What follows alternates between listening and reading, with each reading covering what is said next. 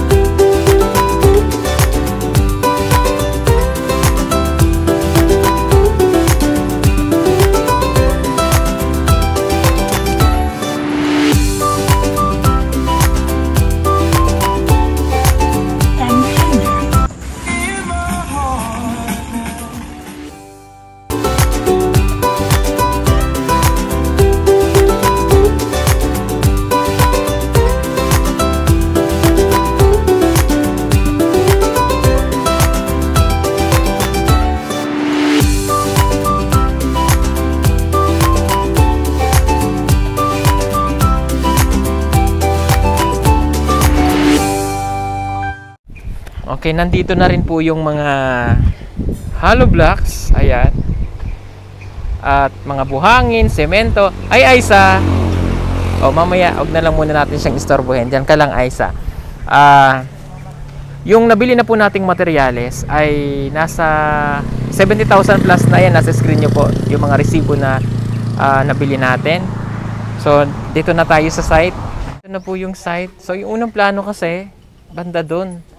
Ah, mabuti at pumayag po na dito na lang. At least kita na sa bungad. So, ang sukat po nitong bahay na ito ay 16 by 18 feet, no? At yung nasa harapan niya, dito maglalagay ng terrace. Yung katulad nung kay Tatay Carlito po. Then, may kwarto yan, tsaka kusina. Mamaya kausapin natin yung ah, nagtatrabaho dito. Yung kinuha nating labor. Meron po tayong dalawang mason at saka dalawang ah, labor para mabilis po yung trabaho nila. Kinuha po natin ito ng pakyawan na. So, naglaan po tayo ng ah, budget na para sa pakyaw. That is 35,000. So, yun, para tuloy-tuloy na yung paggawa nila dito sa bahay na to. So, ngayon nag-layout. Ayan, kita nyo yan, yung 16 by 18 para huhukayin na lang po ito. Then, magtatayo ng mga pundasyon. Ha? So, siya po talaga yung panday natin. Ah, hindi ka ba? Ah, hindi ba siya yun? Ah, oh, ikaw, bakit di ka nagtatrabaho? Magtrabaho ka doon. Ayan na, wala pang maaga pa eh. Ah, maaga pa ba? Ah, ah, siya po si Boy Kain. okay. Hmm. Ito. Ito po yung ating panday. Kausapin lang natin saglit si Kuya. Hmm. Tay, magandang umaga. Magandang umaga po sir. Oh, kamusta naman po? Okay lang. Okay Medyo lang? maputik. Maputik. Okay. Ah, ngayon po Holy Week. So, tuloy-tuloy yung pagtrabaho nyo?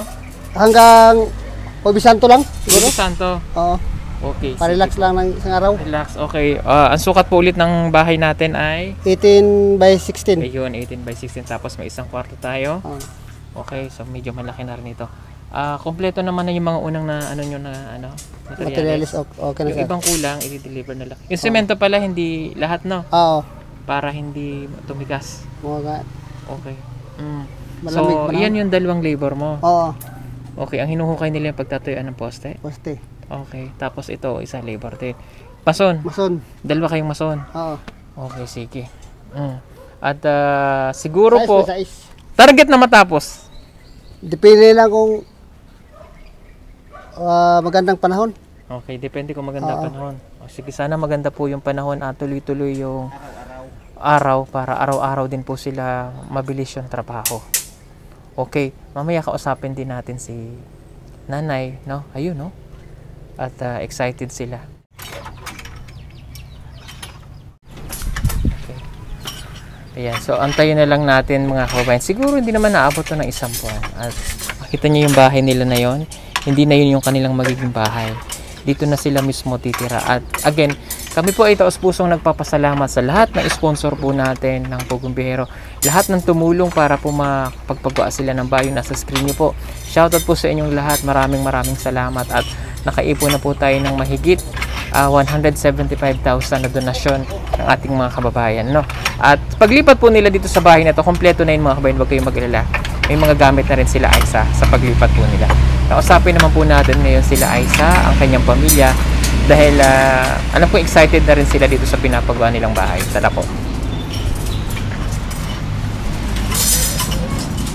natin ngayon si Aisa. Aisa, anong masasabi mo ngayon? Masaya ka? Opo, O bakit masaya si Aisa? Ha? sobrang saya. Oh, sobrang saya ni Aisa. O ito po yung nanay nila si Ate Melissa. Nay, ano yung masasabi mo ngayon na finally nagsisimula na yung pagpapagawa ng bahay? Ah, masaya, masaya. Mm, masaya masaya. Oo, kasi mayroong Mm-mm. Okay, ito ba yung pinangarap mo para sa kay nanay? Apo naman. Mm, Oo. pinangarap. Kung Mm. may sapat lang talaga akong pera, wala naman. Ah, wala. Kaya hindi. ah, kasi ah, sa mga nagtatanong po ako mga kabayan, hin- si Ate Melissa kasi ay nagtatrabaho talaga. Kumbaga, talagang inilalaan niya yung pagtatrabaho niya para rin sa nanay niya, kay Aisa. At hindi niya pinababayaan yung mga bata. At wala lang siyang kakayanan na matulungan yung nanay niya ng ganun. Dahil enough yung kinikita niya. Hanggang doon lang talaga. Oo.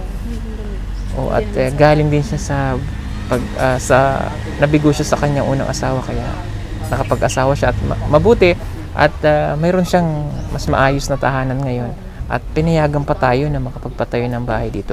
Ah, pumayag kayo na dito na lang, no? Oo, kasi kung dito, Mm. masigip. Masikip, Oo. tama, Kasi tama, nagplano masikip. ako magbaboy dyan. At Ah, okay, okay. Kaya, Magbababuyan ka dyan. Mabuti, Kung ano? may pera. Kung may pera. Oo. Ah, Aisa, ito na yung bahay nyo. Pero wala pa naman, drawing pa lang to. Layout pa lang.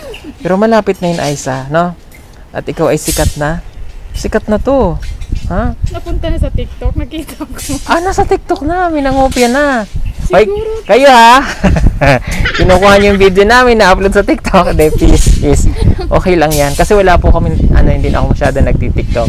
But anyway, gagawa natin to ng, marunong ka bang mag YouTube, YouTube, mag ano? Ay, hindi naman masyado. Hindi pa. Kasi, Yung anak ko lang kasi yung oh, oh yun, yung anak mo. kukunin. Gagawa natin to ng YouTube channel para kahit paano, pag wala na kami, tuloy-tuloy yung tulong sa inyo na sa pamamagitan ni Aisa kayo, tuloy-tuloy yung blessing na darating sa inyo. Ha? Okay. Masayang masaya ba kayo? Masayang masaya po. Okay, syempre. At kami din po ay masaya at uh, ito na nga yung bahay po para po sa kanila. Finally, oo. Pag, naki, pag nabuo na yung ay, bahay nyo, Aisa, promise. Ano sa Bisaya yung maganda, maganda sobra, ano? Nindot kayo. Oo. Nindot kayo. Oo, pag nabuo na, ha? O, sige. Ngayon naman kausapin natin si nanay. Halika. Oo. Kausapin natin si nanay. Oo. Ayan, nay. Mm, Oo. Kamusta ikaw? okay lang. Okay lang? Mm-mm. Oo, hindi mo nakikita yung pinapagawang bahay. Hindi. Oo, hindi po talaga bahay yung pinapagawa namin dyan. Hindi kubo. Ah, Hindi kubo. eh, hindi kubo yan. Mansion yan eh. Natawag si nanay. Oo, pero masaya ka ba, nay? Opo. Masaya ka? Oo. O kasi nagsisimula na yung bahay. Oo. Ano po? At ah, siguro po mga ah, hindi naman tatagal na isang buwan. Makakalipat na kayo sa maayos. Tapos magandang bahay, Oo. no? Ah. Hindi ka na doon ka ano, hindi ka na doon mahihirapan. Hindi na siya mababasa ng ulan sa kanyang dating bahay na ito. Ayan, oh, yun yung dati nilang bahay. Nakatayo pa rin naman. Parang at least may members pa rin dyan, no? Nandyan pa lang yan. At si Aisa, magkakaroon na siya ng magandang kilusan doon. Maganda na ang kanyang lutuan, maganda na ang kanyang kusina, at saka tulugan. Ah. ano daw? Tre. Katre ang tulugan. Ngayon, hindi na katre ang tulugan mo doon. May kama na, may malambot pa. Oh. Aisa, nagluto ka ngayon? Wala. Hindi ka nagluto ngayon, pahinga muna. Day off mo, no? Day off ikaw? Mm, ayun, at least nakakapaglaro na siya ngayon, no? Sikat na daw si Aisa. Nagpa-picture sa'yo sa simbahan. Mm. Mm, dami nagpa-picture sa'yo. Mm, Diya pag isasakyan na nila nga ban. mm, Sulod sa ban. oh, sikat ka na kasi eh, no? Okay. Ah, gagawa natin siya ng YouTube channel. Anong gusto mong pangalan sa YouTube channel? Ha? Anong pangalan? Siguro ano? Ah, anong magandang pangalan? O, comment nyo na lang po dyan kung ano yung magandang pangalan pwedeng Aisa the Little Chef. Ganon. okay. Ah, next time tuturo, ah? Next time, tu- chef? Oh, gusto, gusto niyo talaga niyang maging chef? Aisa. Wow! Chef Aisa. chef Aisa na lang. O sige. Gusto niyang maging si Chef Aisa. Mm. Is- yung dialogue niya, The Cooking Kids. Oh, The Cooking Kids. Wow. My name is Aisa, The Cooking Kids. Oh, ganon. My name is Chef Aisa, The Cooking Kids. Oh, pwede. I'm your cooking kids, yung ganon. Okay, next time, tuturuan naman tayo na isa magluto ng pansit. oh, marunong ako magluto ng pansit daw? Oh, kita niyo, marunong magpansit. Ah, ayun, magluluto tayo ng pansit para papamerienda mo dun sa mga nagtatrabaho. Mm, magluto na po. Oh, magluluto yan si Aisa. Abangan niyo po yung pagluluto ni Aisa ng pansit, no? Papatikin na yan tayo ni Aisa sa pagluluto niya ng pansit. Pre, again, nagpapasalamat po kami sa lahat ng tumulong sa atin, no? especially sa lahat ng mga sponsor po natin na tumulong. At salamat din kay Kuya Eli, yan sa PB tip natin dito, kay Kuya Noy, kay Frankie, at kay Victoria Simpson, at sa lahat ng PB team, sa lahat ng mga ating mga supporters. Ayan, at mag-subscribe na po kayo sa ating YouTube channel. Konting kembot na lang. Ano na tayo, 1 million na yung subscriber natin. Maraming maraming pong salamat sa inyo. At thank you rin po sa lahat ng mga nagko-comment sa amin, yung pinuntahan natin kay la ah, kay na Marilyn, no? Salamat po sa inyong lahat at abangan niyo po yung pagbabalik namin dun sa bundok para magbigay naman po ulit tayo doon ng tulong sa kanila. Marami pong salamat ulit sa inyong lahat. Bye-bye. Bye-bye. Bye-bye. Bye-bye. Bye-bye.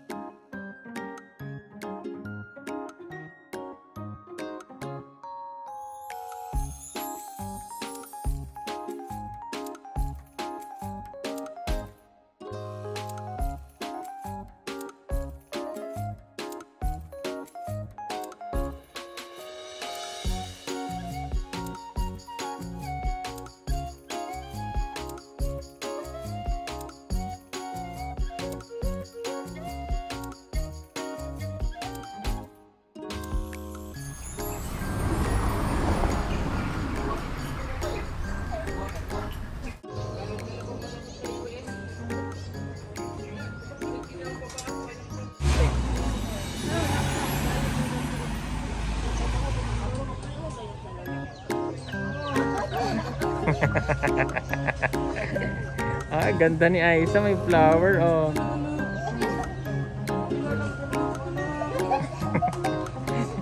na Naalala ko si Ring Ring. Anak! Ano nangyari sa atin, anak? Bata pa o, tingin nga. O, tingin ka nga dito. May flower si Aisa. Oh, panis. Ganda, oh.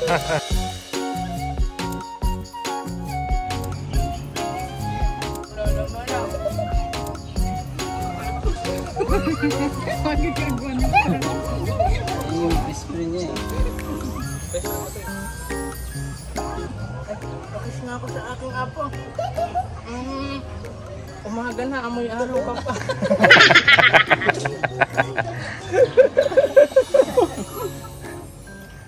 oh, anong masasabi mo sa ating mga panauhin apo? Kaya na kayo, inahapa ngayon lolo, ano? Ka na apo ay, matagal ka na hindi na sila nasilayan. Ang ganda mo pala, ano? Ano mga lakas sa, sa Para matulungan ka.